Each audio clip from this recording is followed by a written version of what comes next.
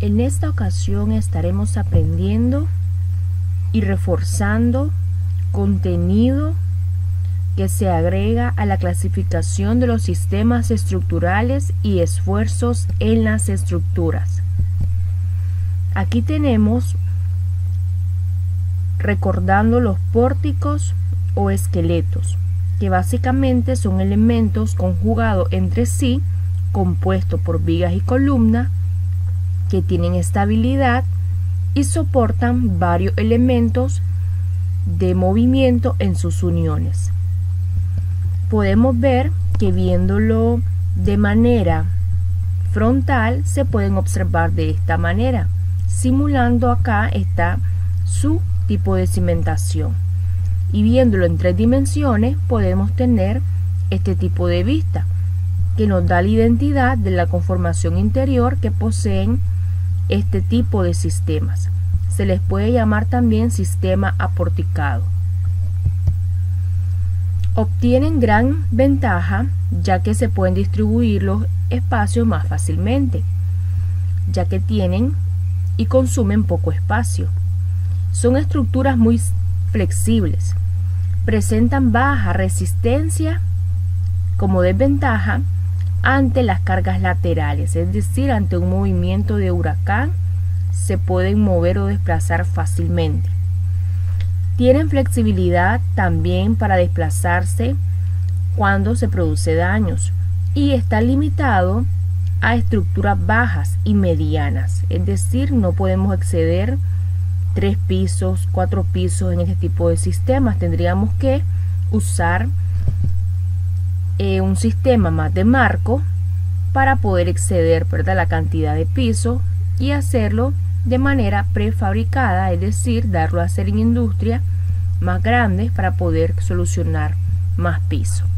Aquí tenemos otro tipo de demostración donde tenemos un esqueleto básico y tenemos también una cercha que también se mezcla unos diagonales en el techo que dan reforzamiento entre elemento y elemento. Aquí podemos ver entre la estructura también esos diagonales importantes que hacen que estos elementos se unifiquen entre sí y queden amarrados ante cualquier fuerza lateral. Aquí está un elemento de un esqueleto de hormigón y aquí tenemos un marco en este caso de acero. La cercha. Es importante entender la triangulación que posee y que ésta puede ser en diferentes diagonales y que cambian ¿verdad? el ángulo de inclinación también. Aquí podemos ver otro tipo de cerchas de acuerdo a cómo inicia y cómo están conjugadas los elementos triangulares en la parte interior. Es importante que saber que la cercha proporciona una solución rápida y económica a situaciones donde eh, son edificios que van a alcanzar bastante peso o que tienen bastante dimensión que cubrir, usada mucho en los puentes y en edificios grandes. Aquí podemos ver un ejemplo de una cercha, en este caso que le llaman tridimensional o le llaman malla, tridimensional, plana, plana porque es como un cuadro, y en este caso una malla abovedada o cercha tridimensional abovedada que también tiene la identidad, ¿verdad? De usar cerchas en su máximo esplendor. Los cables, ya sabemos que son estructuras, ¿verdad? Que contiene ese material ligero de acero, es un cable que tiene un acero que tiene la opción de poder estirarse y que depende su estiramiento que tenga y los puntos donde contenga el estiramiento se va a formar formas de arco catenaria o de una parábola o de un arco puro o si está apoyado en diferentes puntos va a tener una forma funicular. Aquí podemos ver ejemplos verdad de las formas tridimensionales que se pueden alcanzar planas, cóncavas, convexas o paraboloide hiperbólicas. Entonces tendríamos como resultado que las membranas que cubren, ¿verdad? Estos cables internos, porque son cables internos los que van acá, que se pueden ver en esas mallas. Entonces podemos decir que contienen también doble curvatura.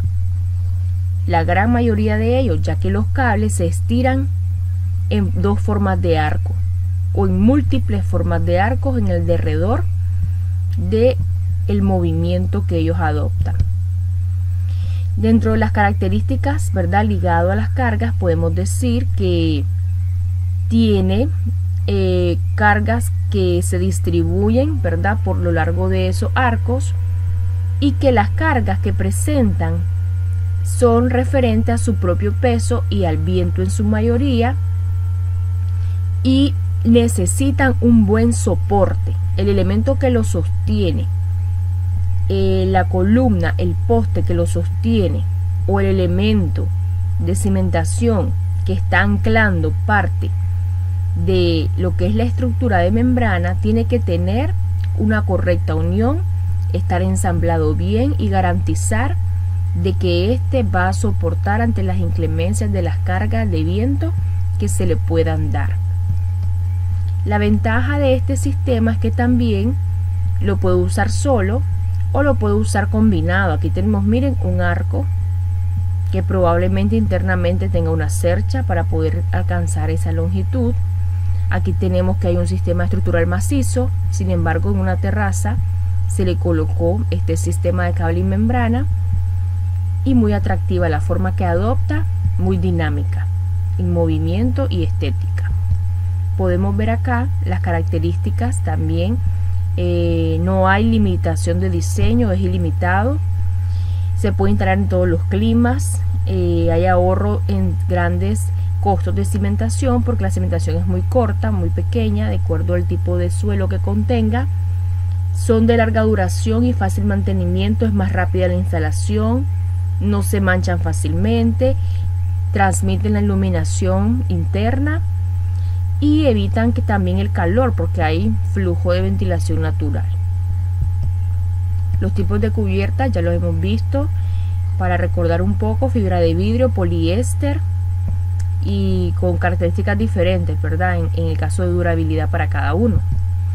Los materiales de soporte indispensable, recordarlos porque de acuerdo a esto que va a estar la estabilidad de la estructura.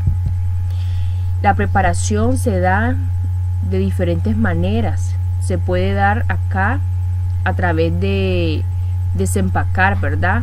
La membrana hasta anclarla y luego de anclarla darle tensionamiento gradual para que ésta quede, permanezca con la forma que el diseñador estaba adoptando.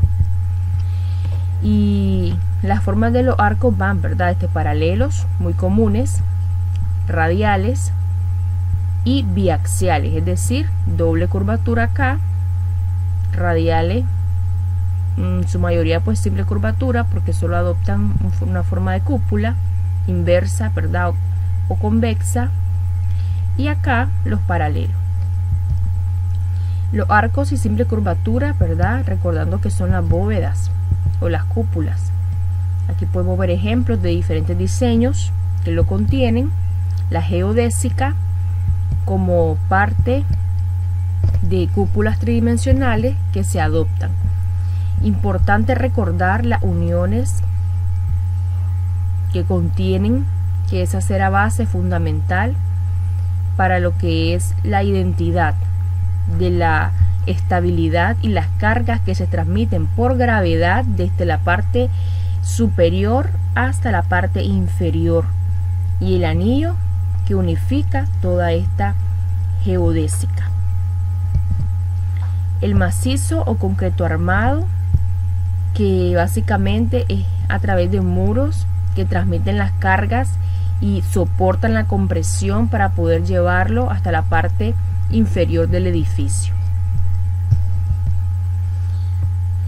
Recordando, hay sistemas estructurales que se unifican entre sí y se hacen mixtos, por ejemplo acá tenemos un edificio que tiene dos tipos de sistemas y se ve tan simple el edificio.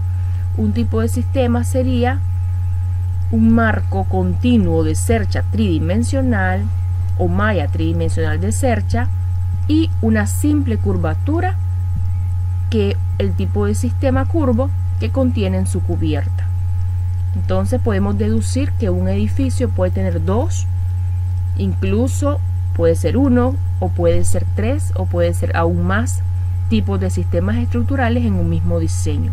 Todo depende del diseñador, de quien planifique y plasme el sistema o los sistemas estructurales. Recordando ¿verdad? los esfuerzos que soportan las estructuras, vamos a ver acá, tracción, la capacidad de poder estirar los elementos ¿verdad? estructurales sin romperse.